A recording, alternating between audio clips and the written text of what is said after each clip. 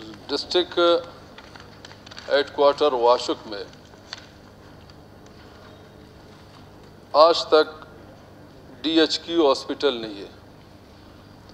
फिर भी ये कहते हैं कि ये क्यों रो रहा है? ये हेडक्वार्टर है, ये डिस्ट्रिक्ट है। मिनिस्टर एल साहब उसी वजह से आज शुक्र है कि आप आमने सामने हैं। वज़ीर अला कायद ऐवान जाम साहब पता नहीं किधर है हवाओं में है घूम रहे हैं।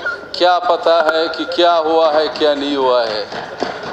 मैंने जनाब चेयरमैन साहब छोड़ जनाब चेयरमैन साहब मैं बात कर रहा हूँ ना। आ- आप- बात करना छोड़ो मेरा सवाल है मैं मैं खुदा न खास्ता इसमें इल्ज़ाम नहीं लगा रहा हूँ चेयरमैन साहब। तैयार हूँ अगर जनाब चेयरमैन साहब। मैं ये मैं सवाल क्वेश्चन किया मैं आपको आप जवाब आप मुझे छोड़ो मैं बात करने पे आ रहा हूँ। आप दो मिनट छोड़ो मैं आपसे सवाल कर रहा हूँ। आप हेल्थ मिनिस्टर हो। मैंने इस वजह से ये पीएचडीपी उठा के सीएम साहब को दे दिया कि खुदारा आपने इस पीएचडीपी में ज़िला वाशुक के लिए हेल्थ एजुकेशन के लिए क्या दिया हुआ है?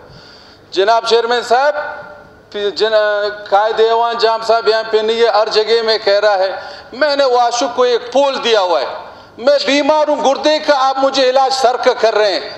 जनाब चेयरमैन साहब ये आप सवाल पर आ करोड़ जनाब सवाल चेयरमैन साहब मेरा बात सुने जनाब चेयरमैन साहब ये 30 करोड़ पीएचडीपी का आप इसको आप इसको DHQ DHQ hospital hospital Washuk में कर लेता इसको फाल कर लेता।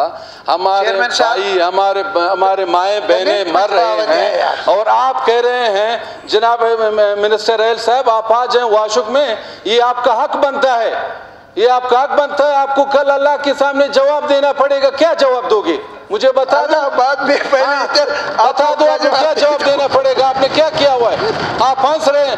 डिलीवरी कैसे होते हैं जनाब चेयरमैन साहब? डिलीवरी कैसे होते हैं? हमारे माए बहने बेटे हुए रस्ते में फौत होते हैं। शे में। इस गवर्नमेंट में क्या हो रहा है? ये कोई ये, ये हालत है मेरे ऊपर है? ये मैं वाशुक मजलूम? मैं तकरीर नहीं कर रहा हूँ मैं आपको बता थोड़ा बता सर इसको, सर। मेरा हक है ये अवाम का हक है ये मजलूमों का हक है आप आप मुझे जवाब दे सवाल- इसके बारे आप में। सवाल करें, इसके बारे में क्या करना है इस हेडक्वार्टर के बारे में? आप मुख्तसर करें सर अब इस टाइम जो है चेयरमैन साहब अस्पताल तैयार ही नहीं है।